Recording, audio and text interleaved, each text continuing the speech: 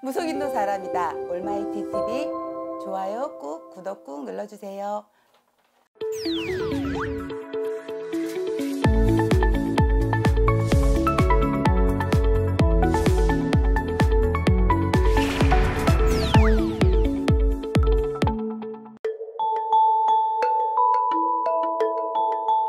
예, 말띠들 2020년 경자년 맞은 맞이한 말띠 운세들 말씀드릴게요. 이 말띠들의 성격들이 보편적으로 한 곳에 안주하지 않아요.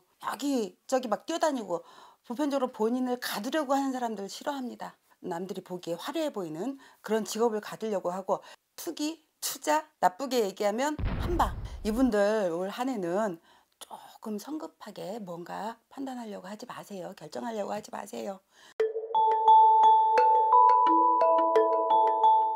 31살 경호년 90년생 말씀드릴게요. 자, 이분들은 평년운이에요. 평년운이라고 하면 우리가 크게 좋을 것도 없어. 크게 나쁠 것도 없어. 그런 운이기 때문에 내가 직장에 있었으면 그곳에 안주하는 해가 됐으면 좋겠어요. 어떻게 성급해서 옮겨가자. 집도 빨리 얼른 옮겨가자. 그런 거보다는 한 군데서 머물러 있으면서 한 번 더 나를 돌아보는 그런 해운년이 됐으면 좋겠고 43살 무오년 78년생 여러분들 서두르지 마세요. 올해는 차분하게 내 주위 사람들이 어떤 사람들이 있나 한 번 정도 둘러를 보세요. 내 주위에 이익만 주는 사람이 있을 수는 없어요. 세상을 살아가다 보면은 어떤 인연에서든 인연법으로 내 주위에는 사람들이 많거든. 그러니까 이 사람들을 어떤 사람이며 나는 이, 이 사람한테 어떤 고마움을 느꼈었던가 이 사람이 나를 어떻게 도와줬었던가 그런 거를 생각하면서 한 해를 지냈으면 좋겠어요. 나름의 정리가 필요한 한 줄로 요약을 하자면 나름의 정리가 필요한 한 해입니다. 55세 병원년 66년생 여러분들 밀어붙일 때는 앞도 뒤도 안 본다. 앞 생각도 없고 뒤 생각도 없어. 내가 여기다가 뭘 해야 되겠다 생각하면 이게 잘 될지 안 될지 생각을 안 해. 절대로. 그래 던지고 봐.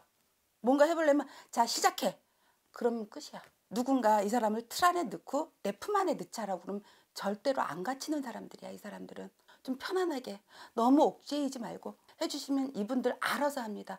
아주 성격은 강직해. 남한테 한마디 소리가 듣기 싫어서 굉장히 노력하고 사시는 분들이에요. 내가 뭔가를 해서 망했다 해도 후회를 안 해요. 이분들은 몸수 때문에 깜짝깜짝 놀래기는 해도 큰 병이 드는 해는 아니니까 너무 걱정하지 마시고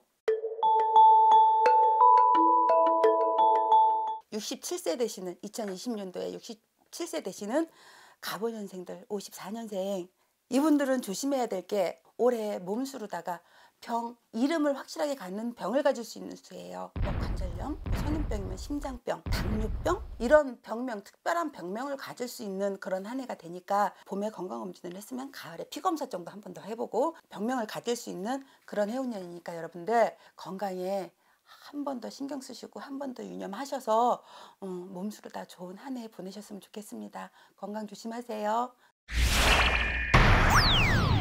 66년생 말띠하고는 인연이 많아요. 예를 들어 저희 서방님이 말띠예요. 저희 서방님이 말띠인데 제가 말하는 66년생들 뭐 다들 뭐, 보, 뭐 영상 보시고 아 나는 아닌데 하시는 분도 있겠지만 성향을 얘기 드리는 거니까 오해는 하지 마시고요.